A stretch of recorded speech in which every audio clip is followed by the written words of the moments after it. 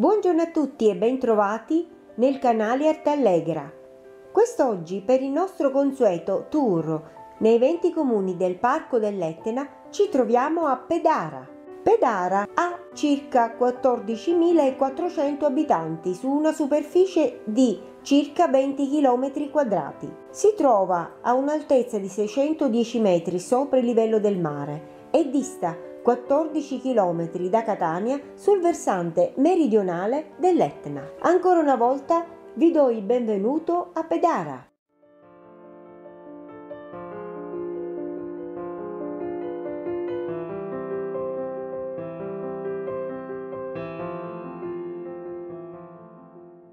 Il paese di Pedara è situato alle falde dell'Etna, fra i comuni di Trecastagni e Nicolosi in provincia di Catania.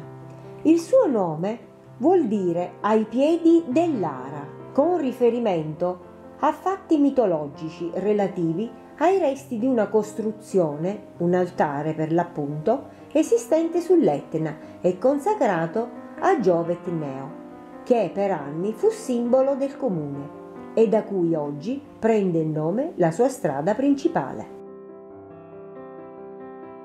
Un'altra origine ci riconduce alla presenza un tempo di molti alberi di pero nella parte bassa del paese. Infatti, in siciliano pedara si dice pirara.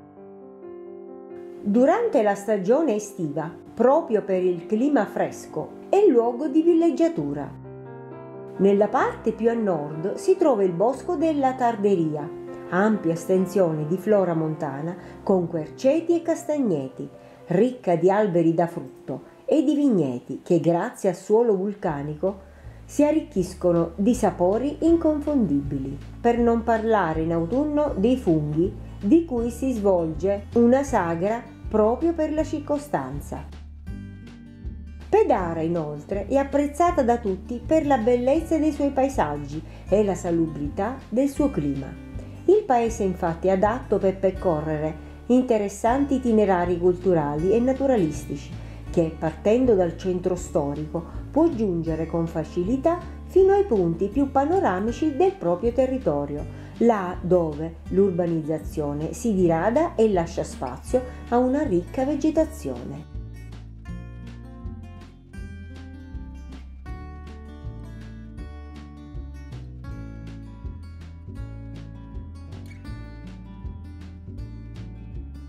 Da Pedara si raggiunge facilmente l'Etna, circa 15 km. Lungo la strada provinciale per l'Etna vi è la fossa del Salto del Cane, un antico cratere spento, con un'area attrezzata. È infatti un punto base per l'escursionismo del parco dell'Etna. Pedara nei secoli si è sviluppata attorno agli antichi crateri di Monte Difeso e Monte Troina, testimoni della continua evoluzione di questo centro. Non si possiedono notizie certe sulle sue origini perché le numerose colate laviche ne hanno quasi del tutto cancellato le tracce. Si sa però che anticamente l'abitato era situato più a nord dell'attuale e il ritrovamento casuale di alcuni reperti testimonierebbe l'origine greca del luogo. Sotto i Normanni Pedara faceva parte delle vigne di Catania e già in quel periodo il primitivo insediamento rurale cominciava a formare un villaggio di agricoltori a nord dell'odierno paese.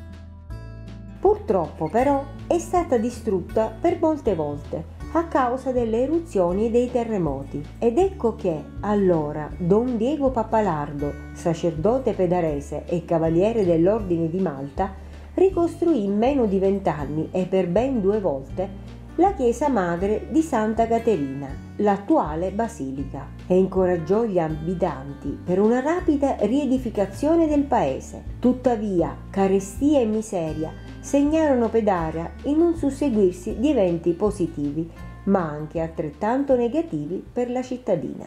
Durante il mio tour per Pedara ho potuto visitare la Basilica di Santa Caterina. Oltre a essere il monumento più importante di Pedara per il suo particolare contenuto artistico, è una delle chiese più visitate e studiate della provincia.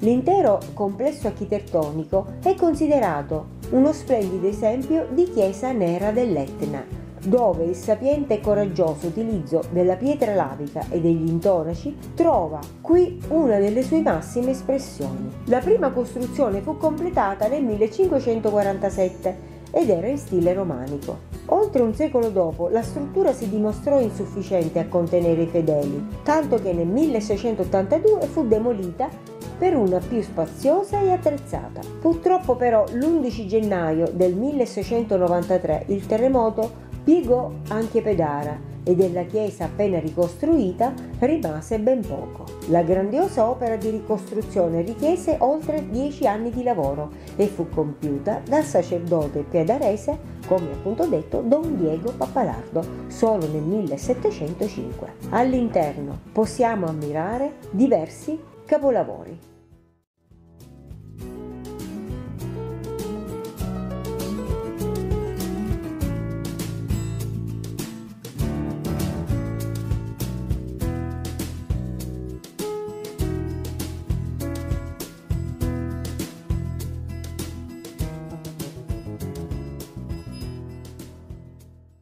Il portale interno è il monumento più antico di Pedara, costruito in pietra lavica e bianca.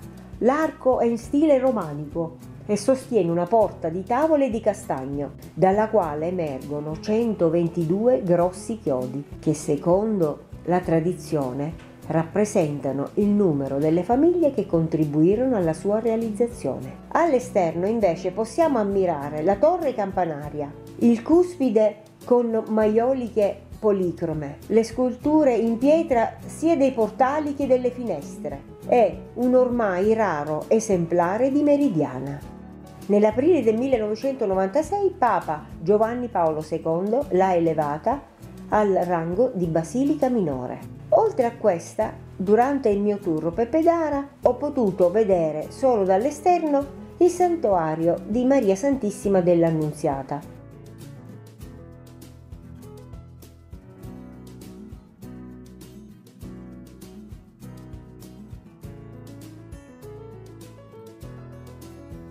e anche la chiesa di Sant'Antonio Abate.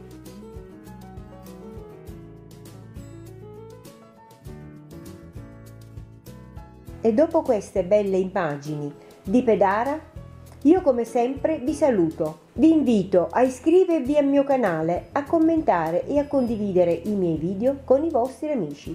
Noi ci vediamo la settimana prossima con un nuovo comune del Parco dell'Etna. Ciao e una buona giornata a tutti!